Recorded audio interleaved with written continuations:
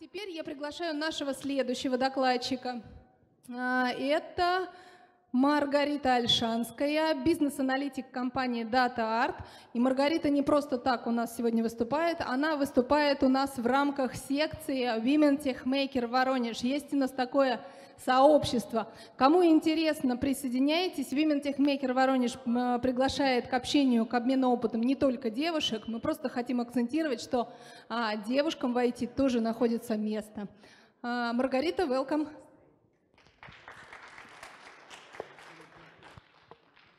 Всем добрый день. А, ну, меня здесь уже представили, да, я бизнес-аналитик, я работаю в профессии уже больше пяти лет. О себе могу сказать, ну, закончила я этот же самый вуз, а, так что это фактически мой альма-матер, поэтому на этой сцене стать вдвойне почетно. И сегодня мы поговорим о том, о чем в последнее время поднимают очень много хайпа – Э, кто же такие аналитики? На самом деле профессия очень молодая, и э, очень много вопросов возникает о том, кто же такие аналитики, а что они, в принципе, вообще делают. Ну и поговорим о том, какие все-таки э, изобретения Google и Android можно использовать в процессе. Итого, кто же такие аналитики? Э, на самом деле, ответом на этот вопрос э, может служить э, много вещей. Первое, хочется вообще такую маленькую предысторию рассказать. То есть как появилась эта профессия? Профессия на самом деле очень молодая, гораздо моложе, чем программисты, quality assurance и так далее. А, и появилась она чуть менее 20 лет назад. И родиной служила Западная Европа и Штаты. То есть именно тогда появилась необходимость а, создания специалистов, которые могут формализовать, описать бизнес-процессы, в компаниях, да, из-за глобальной диджитализации появилась необходимость э, искать решение каких-то проблем с помощью технологий. Ответом на вопрос, кто такие аналитики, может служить э, дословная цитата из э, мануала, который создали э, так называемый IIBA, это International Institution of Business Analysis, есть и такой. Э, и согласно мануалам IABA, бизнес-аналитик — это посредник, который выступает э, между заказчиком и командой разработки для сбора, анализа, формализации требований и предложения каких-либо решений. Э, отсюда как бы многие считают, что основная задача аналитика такая, как маленькие пишущие обезьянки, да, то есть это собрать все, что говорит заказчик — написать, записать, отрисовать и отдать в разработку. Почему так считают? Потому что изначально э, работа аналитика, она подразумевала именно это, потому что аналитик представляет собой своего рода прослойку между dev-командой, технической командой, и э, прослойку между заказчиками, то есть бизнес-уровнем на самом деле. И зачастую эти два уровня между собой не могут договориться, э, поскольку используют различную терминологию, различный подход, различный уровень абстракции и так далее. Но спустя время можно, можно сказать, что аналитика она ушла далеко вперед. И сейчас существует большое количество направлений в рамках этой же самой профессии, а, которые а, связаны с различными с различной деятельностью, да, то есть не только формализация, сбор требований, но еще и аналитик может выполнять различные роли на проектах. То есть Первое из них — это requirements management. Это как раз-таки то, что называется сбором, анализом и формализацией требований. То есть это подготовка, если говорить о русскоязычных компаниях, так называемого технического задания, если говорить о международных аббревиатурах, то это подготовка спецификации различного рода. Плюс сюда же входит управление а, изменениями, сюда же входит а, работа по а, структуризации требований, начиная от бизнес-уровня, заканчивая функциональными и нефункциональными требованиями. И сюда же входит согласование всех уровней, подготовка регламентов и прочего. Но спустя достаточно продолжительное время аналитика начала выходить на новый уровень. И появились такие направления, как product ownership. Да? А, что такое product ownership? Это когда аналитик выполняет уже не просто сбор требований, подготовку документов и так далее, он уже э, начинает смотреть дальше, начинает мыслить стратегически. То есть э, существование продукта в рамках аналитики рассматривается не просто как набор какого-то функционала, но еще и возможность его развития, возможность его улучшения, э, возможность определения каких-то стратегических решений.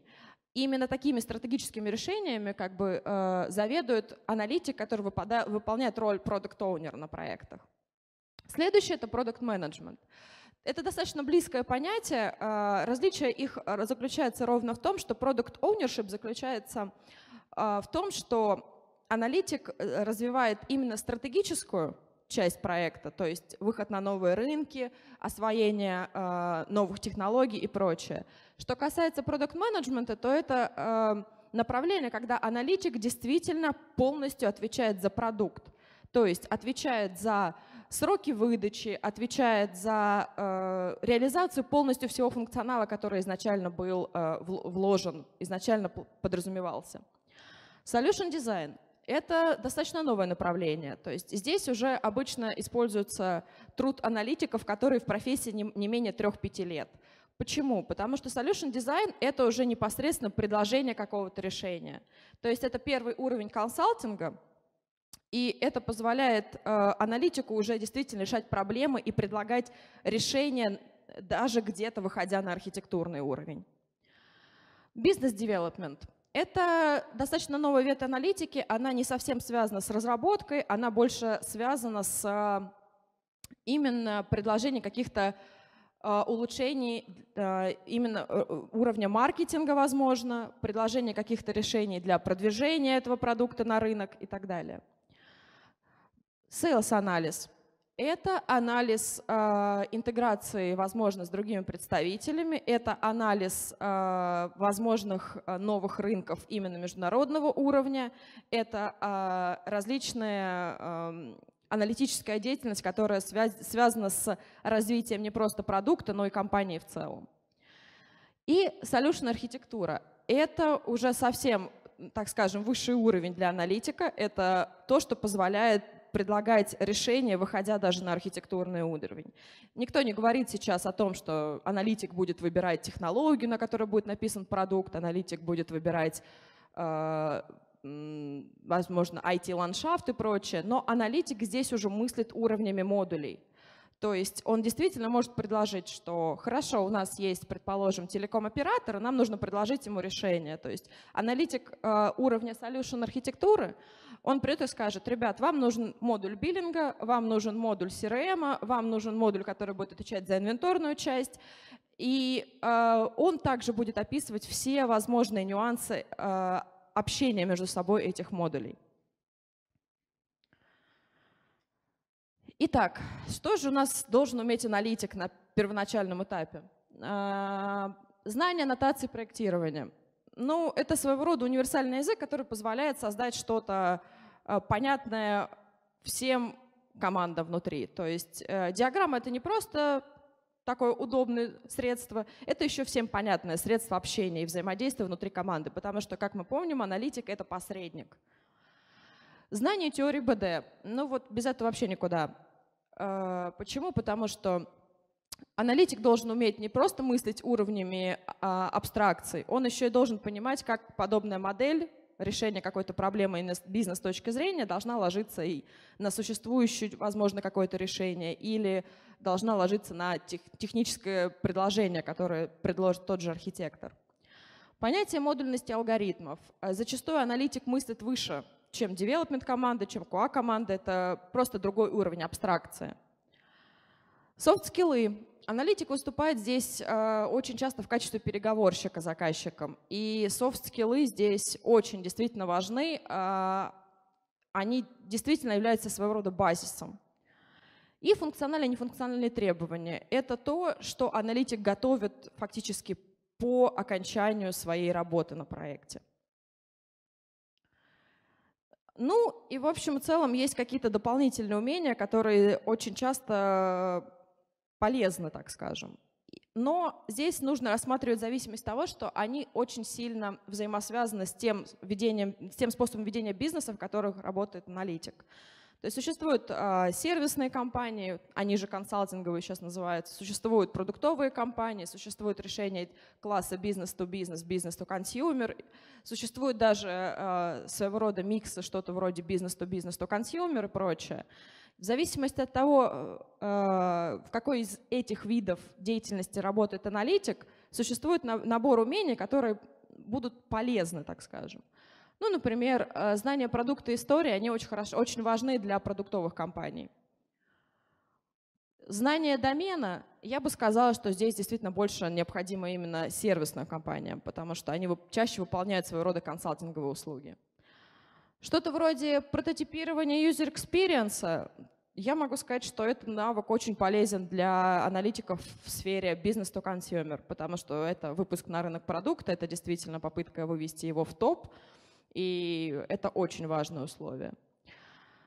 А, планы traceability – это уже необходимость для аналитика класса Solution Design, Solution архитектура. Почему? Потому что аналитик должен понимать, а, как все его деятельность ложится на общий план проекта, как его работа будет взаимосвязана, как он будет взаимодействовать и прочее.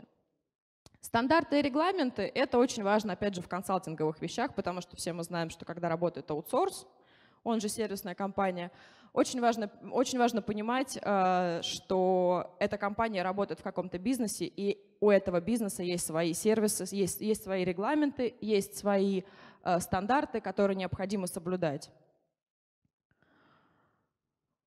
Roadmap и риск-менеджмент – это тоже очередное умение, которое очень важно для аналитиков уровня э, архитектуры, для аналитиков уровня solution дизайна. Анализ рынка это умение для аналитиков формата sales marketing обычно и прочее. В общем, если рассмотреть эти умения, их на самом деле гораздо больше. Все они в той или иной степени действительно зависят от компании, в которой работает аналитик. Ну а теперь перейдем к части, за которой, в общем-то, я здесь.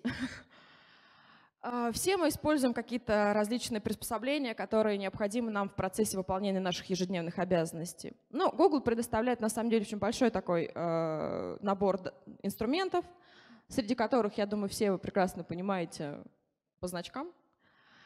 Э, и их действительно достаточно часто используют. Из всего предложенного часто используется документы, часто используют, используется Hangout, но это опять же в зависимости от того, как, какая договоренность с заказчиком. Часто используются Google диски, Google документы и прочее. Отдельно хочу выделить такую вещь, как э, Google Аналитика. Это очень важный и полезный инструмент для любого, для любого вообще аналитика. А, почему? Потому что он позволяет собрать те данные, которые в процессе можно будет интерпретировать для предложения лучшего решения для, для, для вашего заказчика. Google Аналитика предоставляет огромное количество различных типов отчетов, которые непосредственно связаны с э, продуктом, который будет выпускаться. Например, нам важно понимать, что средний возраст наших пользователей 65+. Это говорит как минимум о том, что контент должен соответствовать. То есть вряд ли картинки с котиками будут интересны людям 65+. А, позволяет собрать такие простенькие отчеты, как, например, а, разница между женщинами и мужчинами пользователей приложения. То есть это, опять же, позволяет определить тот контент, те цвета, ту палитру, тот user experience, который необходимо использовать в продукте. Google Аналитика позволяет собрать и статистику, которая позволяет определить тренды. То есть э, именно как часто пользователи заходят, сколько постоянных пользователей, какова сезонность использования приложений. Для того, чтобы подбирать не просто какой-то контент, не только подбирать цвета или что-то еще, но и позволяет подбирать сервисы и инструментарий, который будет добавлен в приложение, который позволит человеку именно выиграть на рынке, то есть предоставить что-то интересное. И вот это, на самом деле, один из самых очень полезных отчетов. Это так называемый отчет с указанием rate и количества посещаемых страничек. То есть вот эта вот красная полосочка — это очень плохой знак. Это так называемый rate, который позволяет определить больные места в приложении. То есть как часто пользователь уходит, как часто пользователь э, крашится на какой-то из страничек. Но все, что я сейчас говорила, это очень хорошо ложится на аналитиков э, формата enterprise решений. Потому что изначально аналитика зародилась в рамках enterprise. То есть enterprise — это какие-то большие программные решения, которые необходимы для реализации, э, действительно, для реализации решения проблем бизнеса. Сейчас все чаще выходит на рынок э, именно за счет мобильности. То есть все чаще сейчас э, люди предпочитают выходить на рынок с какими-то мобильными решениями. И, к сожалению, то, что было озвучено за, до этого, не всегда хорошо ложится на эти предложения. Поэтому вообще э, такая профессия, как мобильный аналитик, я могу сказать по своему опыту, ее не просто не существует, да, она сейчас только, находится только в зачатке. В общем-то, а какова разница вообще между enterprise и мобильными решениями? То есть первое, нужно понимать, что у мобильных э, приложений есть свои особенности, которые не характерны для enterprise решений. Среди них это э, мобильность, это возможность использования встроенных сервисов, это особый подход к user experience, это обязательный учет работы в офлайн режиме. И действительно, самая большая проблема, которая характерна для мобильных приложений, это чувствительность к аккумулятору. То есть э, если в enterprise решении нам, в общем-то, не важно, сядет у нас батарейка или не сядет у нас батарейка, в enterprise решениях всегда есть интернет, там просто зачастую нет офлайн режима, или он работает по локальной сети, то здесь следует понимать, что э, у мобильных приложений особенности свои. И, в общем-то, даже сам Google позиционирует, что именно батарейка — это очень важное условие. То есть необходимо разрабатывать решения, которые позволяют батарейке жить дольше. И на основе вот этих вот, вот этих вот особенностей именно мобильных решений можно сказать, что аналитик, который будет знать их, аналитик, который будет понимать разницу и который может предложить решение, которое сможет жить с учетом этих особенностей, будет все более востребован на рынке. По факту, Кроме этих особенностей существуют еще и последние достижения. А, любому заказчику хочется видеть а, какой-то продукт, который будет востребован на рынке. И мало того, что необходимо учитывать особенности мобильной разработки, необходимо еще и понимать, что существует уже такой инструментарий, уже своего рода достижения, которые можно использовать, которые смогут привнести в ваше приложение и которые смогут вывести ваше приложение на уровень выше. А, среди них голосовое управление. Это та вещь, которая сейчас а, очень активно продвигается. Да, появилась она достаточно давно и так далее, но если посмотреть а, какие-либо решения для бизнеса, то я могу сказать, что это меньше 1%. То есть меньше 1% решений, мобильных решений для бизнеса используют голосовое управление. А, Google Variables, да, то есть одеваемые различные девайсы, это фиттрекеры, час, умные часы и прочее. То есть сейчас умные часы позволяют совершать даже оплату через них. Казалось бы, почему нет? Посмотрите, сколько банковских решений работает с э, тем же Apple или Google PM. На самом деле очень мало. Отчасти причина лежит в безопасности, но также причина лежит в том, что подход к разработке продуктов большого бизнеса, большого интерпрайза, он так и остался на том уровне, когда мы работаем с решениями веб или решением десктопными – очень мало компаний, у которых действительно большой бизнес, работают с мобильными приложениями, используя просто все возможности, которые есть. Это так называемый Awareness API. Это очень, э, так скажем, ну, достаточно новенькая штучка, которую э, позиционировал Google, если не ошибаюсь, в 2016 году. То есть это э, набор API, который работает с сенсорами, которые работают с местоположением, которое работает с нотификациями, и позволяют создавать действительно умные приложения, которые могут что-то предсказывать. То есть, допустим, у вас стоит в 11 утра в календаре встреча, а, автоматически, основываясь на этих данных, вам телефон может предложить время подъема и к вашему времени подъема подобрать информацию, которую вы обычно с утра собираете. То есть это прогноз погоды, там, статьи и прочее. То есть это обучаемая вещица, которая позволяет на основе вашей повседневной активности подобрать для вас способ взаимодействия с вашим мобильным телефоном. И это та вещь, которая никогда не используется в enterprise. Хотя это то, чего ждет любой конечный пользователь от своего мобильного телефона. И действительно, это уже это, это, это действительно уже реальность. Это действительно, существует действительно некоторое количество приложений, которые работают с этим, которые уже используют это. Но ни один из больших интерпрайсов не пытается даже подружиться.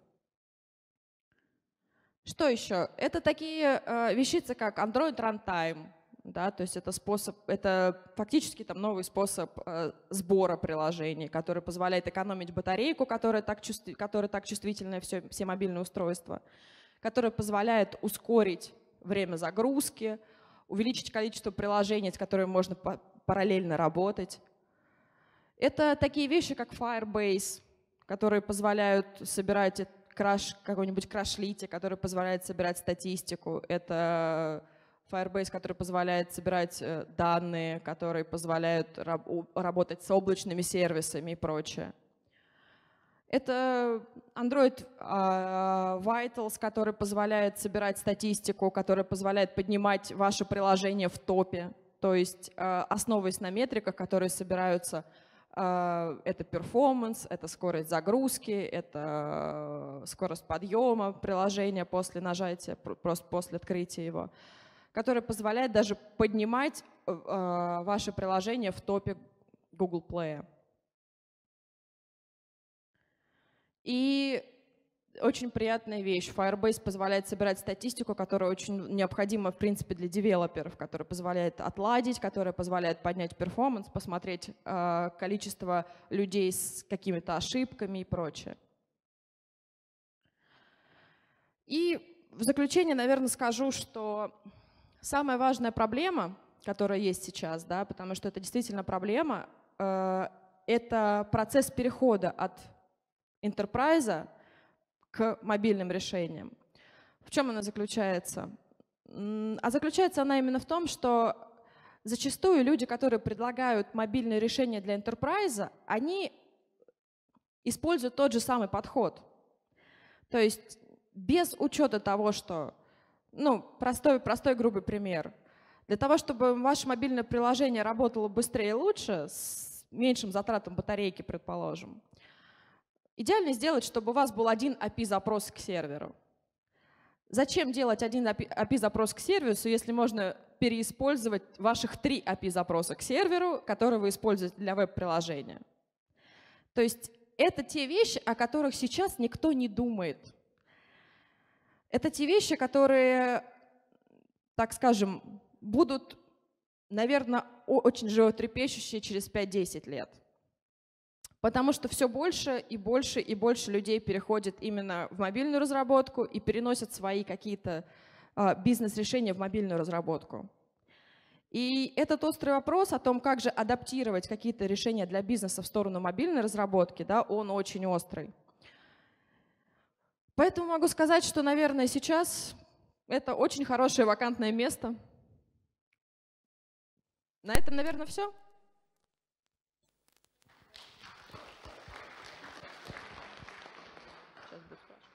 Спасибо. Вопросы?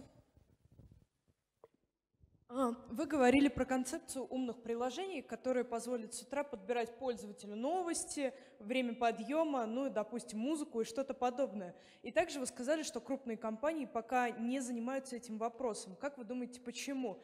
Это зависит от уровня сложности, от того, что пользователь не всегда хочет отправлять какую-то статистику крупным компаниям о своем времяпрепровождении – или в чем-то еще? Ну, если переиспользовать awareness API, то он будет обязан как бы это сделать, но это, это, это не, не, не в этом дело.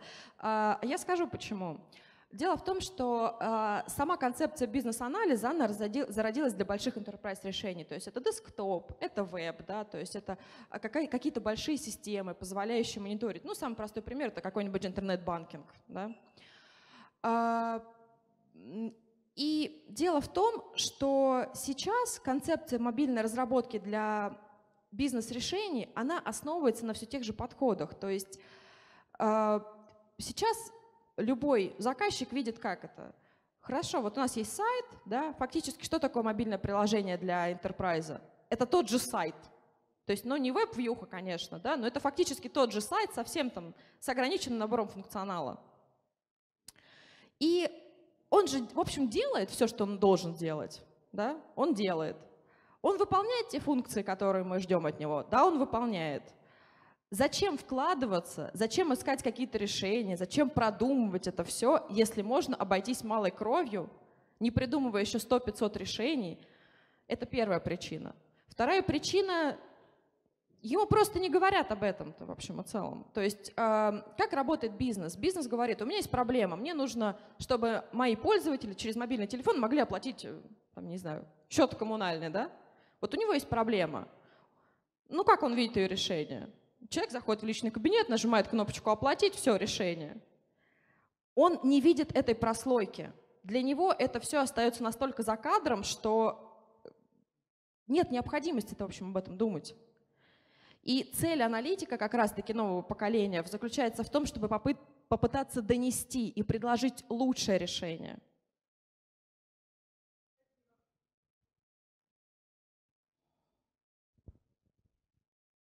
Маргарита, спасибо за отличный доклад. Подскажите, пожалуйста, как аналитик, то есть предвидец будущего, наверное, в некотором роде, вот то, что мы основываемся на Google, на Android, это же идет довольно сильная привязка к этой операционной системе, соответственно, зависимость от этой компании. Есть ли какая-то альтернатива, или вот если мы все бизнес-процессы в большой конторе э, компании перекладываем на решение от Google, э, есть ли такая гипотеза о том, что что-то сломается, или они прекратят, например, поддержку? То есть насколько это могут быть долгоиграющие планы? Или нужно все время какую-то альтернативу искать, которая конкурентоспособна с ними? Ну, Спасибо. здесь с точки зрения бизнеса обычно используется как бы, ну, э, вообще, по-хорошему, часто мобильные решения делаются для двух вещей, для двух операционных систем. Это Android и iOS. Реже это винфоны. Но это очень редкий кейс, прям совсем для гиков, как говорится. А, что могу сказать? Есть похожие предложения и от iOS. Есть. То есть, а, что сейчас анонсирует iOS 11? Он анонсирует, например, использование из коробки машин-ленинга или э, виртуальной реальности. Это тоже можно использовать. Или новый Siri Kit, который позволяет с помощью голоса оплатить с вашего Apple Pay кошелька что-либо или перевести кому-то деньги. То есть это да, это реальность. Завязываться на какую-то платформу э, это хороший вопрос на самом деле. Можно, э, существует сейчас такое понятие, как кроссплатформенное решение. Но они сейчас настолько дороги, и такое малое количество специалистов, которые могут создавать действительно кроссплатформенные решения, что пока это достаточно большой открытый вопрос. Проще использовать все-таки открытый API от Google или открытый API там, или работать под iOS, чем действительно создавать что-то кроссплатформенное. Это просто дешевле. Ну, у меня более такой общий вопрос. Насколько бизнес-аналитики тесно общаются с техническими специалистами, когда принимают решения по solution каким-то модулям, архитектуре и все? Как опирается на мнение технического специалиста, чтобы донести потом это заказчику? И как, как часто принимает это как э, экспертное мнение больше угу. Перед своим? А, здесь очень а, большой вопрос заключается в том, а, насколько выстроена коммуникация правильно в команде. На самом деле, я вот забыла упомянуть, но зачастую аналитик является главным коммуникатором, да? Ну и от следствия этого все шишки тоже на него валятся. То есть э, э, бизнес-аналитик должен действительно обладать умением лавировать между всем этим. Это первое. Второе, лично по моему опыту – я очень часто советую с девелопмент командой, но ровно по одной простой причине, потому что я вижу бизнес, я вижу уровень чуть ниже, но я не могу предлагать архитектурное решение, потому что люди работают над этим годами. Им виднее, где будут проблемы, им виднее, где, возможно, какие-то э, подводные камни. Им просто виднее. Моя задача донести до них проблему, которую мы решим, предложить решение этой проблемы. Техническая реализация — это все-таки действительно уже вопрос, который э, в, сфере, в сфере ответственности именно архитектора. Вот Коля может вам ответить, как я общаюсь с девелопмент-командой. Он вам много интересного может рассказать о том, а, как все-таки происходит процесс взаимодействия. Очень часто это вопрос, ты кофе-брейк какой-нибудь на работе, да, то есть ты приходишь и говоришь, ребят, у нас вот тут вот плохо, у нас вот тут вот API не возвращает то, что нам нужно для решения какой-то проблемы бизнеса, да. Он говорит, ну смотри, можем сделать вот так, а можем сделать вот так. Самый простой вопрос решения такой ситуации. Я говорю, «А как дешевле? То есть, ну вот, вплоть до этого. Добрый день. Хотелось бы задать такой вопрос, как аналитику. Все-таки есть ли какая-нибудь перспектива получить коробочное решение от Google, ну, относительно коробочное, э, для корпоративных пользователей? А, есть, э, я бы сказала, что... Что-то, что-то напоминающее, например, SAP Mobile Platform или Oracle BI решение. То есть что-то такое, потому что все приложения, которые вы сегодня показали, они больше относятся к среднеофисному пользованию, то есть Excel, Word, ну, почта, погода с утра. А, смотрите, здесь нужно, во-первых, вопрос. А, решение э, какого плана хочется коробочное? То есть решение плана типа SAP, документ и учета и прочее, э, не думаю. По одной простой причине, потому что э, принципе, сама концепция, она немножко другая, да. То есть это скорее действительно собрание людей, которые хотят сделать этот мир лучше. Они не пытаются решить какие-то проблемы бизнеса, как пытается сделать SAP. То есть он решает какие-то определенные проблемы. Здесь я бы не сказала, что решаются определенные проблемы. Здесь, скорее всего, идет именно процесс инноваций. Это первый вопрос. Второй вопрос, а нужно ли в общем и целом? То есть э, любой бизнес, да, как я как аналитик говорю, начинается с, любой анализ начинается с определения бизнес-процессов и их формализации. Невозможно создать коробочный продукт, который будет покрывать. Ну, просто невозможно. Поверьте, я работала в продуктовой компании. Это 20%. 20% э, процессов покрываются, остальное нет.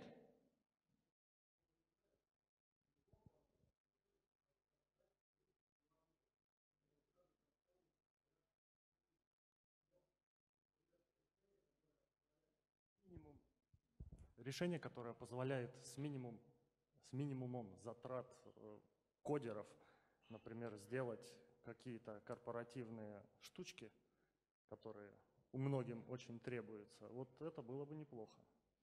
Ну, я, наверное, мне, наверное, сложно отвечать за Google сейчас.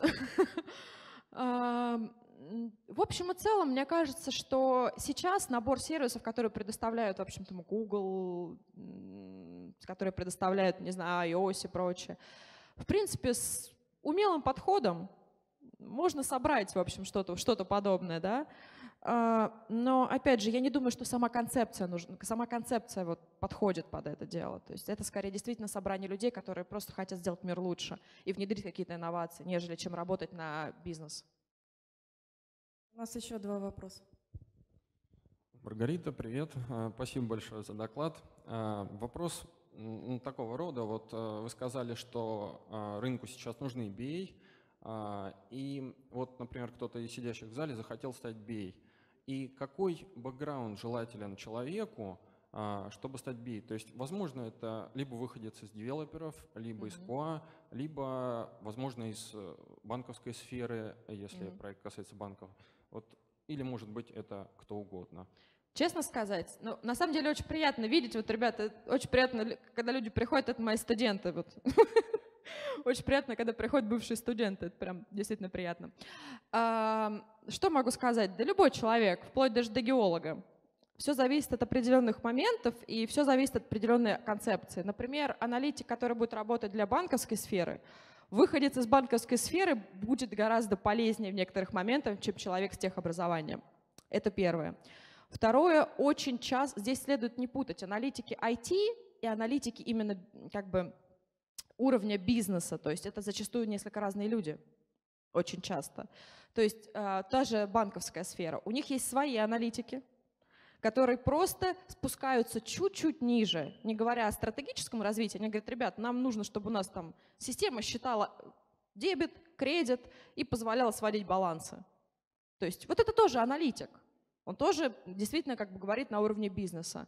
Есть айтишные аналитики, которые говорят, ага, так, нам нужно выводить на форму 3, а формочка должна быть зеленой, потому что зеленый, крас... потому что зеленый там, в цвет, грубо говоря, логотипа банка. Это аналитики, которые работают уже с UX, то есть это UX-специалисты, это тоже аналитики. Есть люди, ага, там нужно три поля на формочку, ага, эти три поля собирать, значит, нужно передавать, а еще тут вот такая вот функция, которая будет как бы высчитывать это все. Это уже больше там айтишные люди, которые приближены к девелопменту. И как показывает практика, можно получить, можно работать аналитиком после любого образования как и девелопером в общем и целом. Я знаю людей, которые девелопят от Бога, при этом имея образование совершенно не, не, не связанное с IT. То есть тут все зависит целиком от человека. Здравствуйте, меня зовут Алексей. Я хотел спросить, наверное, вот в таком формате. А как вы думаете, аналитики как отдел а, в компаниях будут занимать, выполнять основную функцию или вспомогательную? То есть основные это те, без которых нельзя, а вспомогательные это те, без которых нельзя, но с которыми лучше. Это первый вопрос. Ну, второй задам после того, как ответите. Ну, вспомогательная функция. На самом деле, как я начала свой доклад, да, зачастую люди думают, что аналитики такие пищащие обезьянки, то есть которым, без которых можно, но с которыми попроще просто. Я знаю очень много проектов, когда действительно люди выводили в продакшн вещи без аналитиков. Да? А, тут следует понимать, что с ними, с одной стороны, это действительно взаимопомощь такая для команды, потому что это коммуникатор, это люди, которые действительно позволяют э, помочь бизнесу достигнуть их целей, которые помочь девелопменту научиться коммуницировать с бизнесом и так далее. Но сейчас, по, исходя из последним трендом, все чаще э, аналитики становятся must-have. Почему? Я сейчас чуть объясню. Потому что сейчас ждут уже не просто аналитика, который имеет очень мощный технический бэкграунд. Их сейчас называют еще системными аналитиками, которые могут предложить решение именно у низкоуровневых вещей. Все чаще на э, первый план выходят аналитики, которые поднимаются на уровень стратегии. Вот без них вообще нельзя, потому что тут нужно понимать, аналитик — это тот человек, который может действительно заглянуть на пару лет вперед, сказать, ребят, вот смотрите, сейчас вот так, а давайте мы сделаем вот это, и через пару лет оно выстрелит. То есть сейчас аналитики поднимаются уже на уровень выше. И я считаю, что это да, must have. Ну и в продолжение, там вот еще руку поднимает, эм, есть ли смысл пытаться выделить, допустим, из разработчиков, э, ну, повесить на кого-то из разработчиков, скажем, функцию аналитика вот, ну, вот этой прослойки, или же нужно набирать именно отдельно обученных или отдельно имеющих какие-то особые навыки людей? Э, Личное мнение или общее? Ты можно оба. Ну, на самом деле, э, здесь такой очень интересный момент. Во-первых, для того, чтобы делать, вот как показывает моя практика, лучше всего аналитики получаются из КОА. Вот как, как, как, как, вот это действительно так. Потому что это люди, которые действительно очень четко определяют малейшие детали, которые умеют действительно а, по процессу работать, которые умеют следить за изменениями, почему это очень большая часть работы аналитика. Выделить из девелопмента можно. Здесь просто главное понимать, какой типаж человека перед тобой. То есть есть люди, которым комфортно абсолютно писать код, вот из них никогда не получится аналитиков, потому что ему просто некомфортно, ему не нравится. Есть люди, которые драйвовые, которые, возможно, где-то не очень хороши в девелопменте, но они очень хороши в коммуникации. Вот из таких возможно вырастить аналитика. И как показывает практика, Выращивание лучше часто работает. Ну, тут есть свои плюсы и минусы, да. А, набирать со стороны, возможно, это будет новая кровь, и действительно человек будет как бы лучше в плане определения стратегии, да, потому что у него есть свой набор скиллов, у него есть свой набор умений. Взращивание э, дает свой плюс. Какой? Э, человек уже в курсе, как происходит, человек в курсе внутренних процессов, да, и ему проще перестроиться. От него, возможно, будет гораздо больше току, как коммуникатора. Поэтому здесь все зависит как бы от, конкрет, от конкретного примера. Так, ну и давайте, наверное, последний вопрос. Спасибо за доклад. Добрый день. А, попробую выступить с точки зрения человека, который чуть не свел, чуть не сведет вас с ума, доказывая, что вас не существует. А, а вообще, э, вот есть э, менеджер проекта, есть маркетолог, есть директор. Вот где место аналитика? Как он взаимодействует с тем, с другим, с третьим, с командой? Спасибо. А есть аналитик, который выполняет все три функции а, на одном ну, проекте? это падать низ перед таким и молиться. То есть это э, аналитик, который существует в небольшой компании, который выполняет сразу все три функции. Или это наоборот э, в больших компаниях? Ну, мне кажется, все-таки менеджер проекта лучше работает с командой, э, лучше представляет проект, а он, конечно, должен уметь работать с с анализом, то есть он должен сам быть аналитиком? А, ну, это такое частое мнение. На самом деле могу там, ответить, исходя из своего опыта. Да? У меня был опыт работы в командах больше 200 человек и опыт работы в команде 5 человек. Да? А, и был опыт работы совмещения как и проект-менеджера, и аналитика в одном лице, и маркетолога, и человека, который отвечает за развитие и прочее. И так и работа в команде, когда я пришла только в профессию, где у меня там был свой B-элит и прочее. Роль аналитика здесь. Зачастую иногда, так получается, что аналитик выполняет коммуникативную роль лучше, чем проект менеджер Такое бывает. Бывает и наоборот, когда аналитик как бы очень тяжело входит в команду и зачастую очень...